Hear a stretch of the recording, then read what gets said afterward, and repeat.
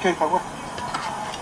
主席可以不跟我们讲一下，就是因为今就是就是今天有发生这个食安的事情，那你怎么看这这次这个食安的事情？那现在有人怀疑说是人为因素，那以你之前过去的医学判断来看，是有可能是人为的因素吗？这个还是结论证据讲结论话了，因为这个既然有住院了，就有检体有什么，还是赶快检查吧。因为因为一般来讲，食物中毒会搞到死掉的不多。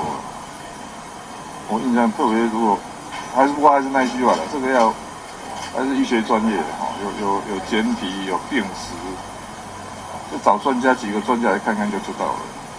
那想问一下，因为这是台之光的费率审查会议，有有有指出说会议九点才开始，结果九点四十就结束了，是不是光速的，就是通过审查，而且好像没有记录记录下说到底是怎么谈费率的，只有结论。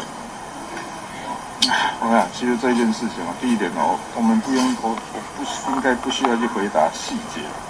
一个会议四十分钟，不啊不然你要开多久？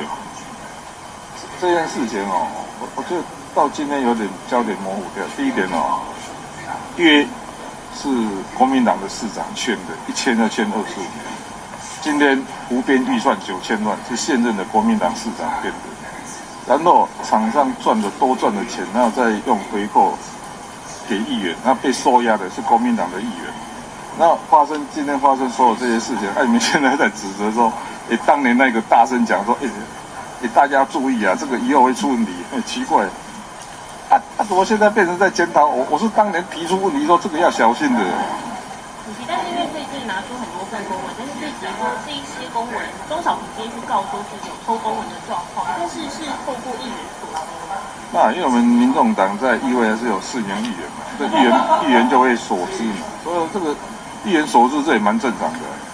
但是蓝绿议员都说他们调不到这些资料。都奇怪啊，那有手势就会有手势记录。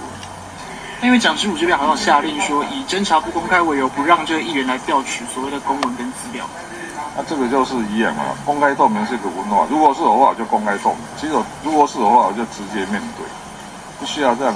其实我知道政治上的战略的，就是说他知道他已经失误了，因为这个不报预算，然后议员收回扣哦，而且我非常清楚，恐怕不止不止一个议员，应该。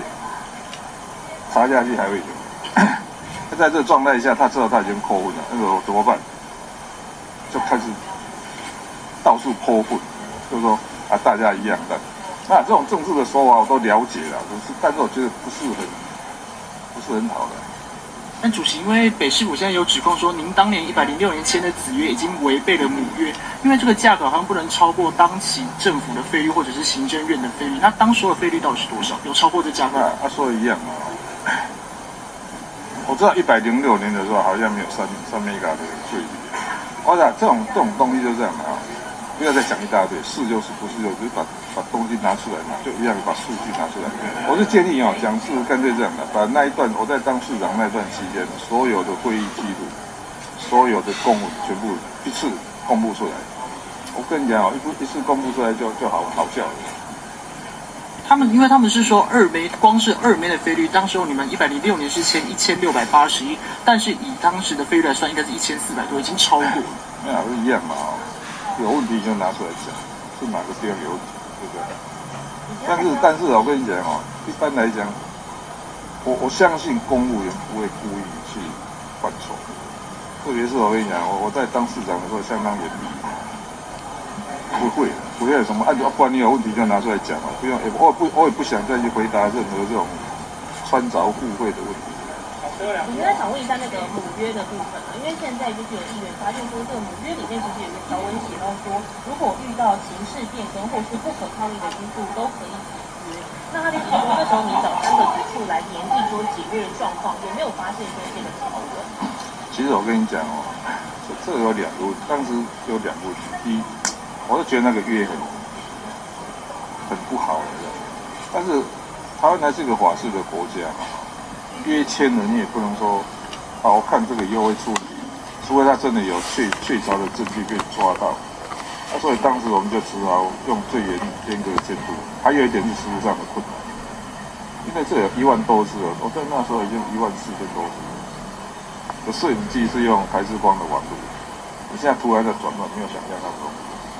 因为他如果突然跟你说好，我们就解约，中华电信进来要接要接哦，也不是一天两天，当时说算算一算说哇，这个整个台北市的监视器有这种空窗期的问题，所以我们当时也是发现这个有困难，所以后来说那那再他也他也没有确切犯罪的证据，然后再再又有一些转换的困难，所以只能用严格监督来处理。因为有时会有爆料说，电视的调阅小组到底，那这算是某一种经过蓝牌合作吗？那呃，你们希望说，呃，这次调阅可以调阅出什么？一样嘛，哦，这个有有几分证据讲几分话嘛，不要预设立场嘛。做三自然嘛，我们还是要让台湾成一个法治的国家，就是说依法行政，按按按照证据说话。后面那个太少了。好了好了，就这样，后面实在太少了。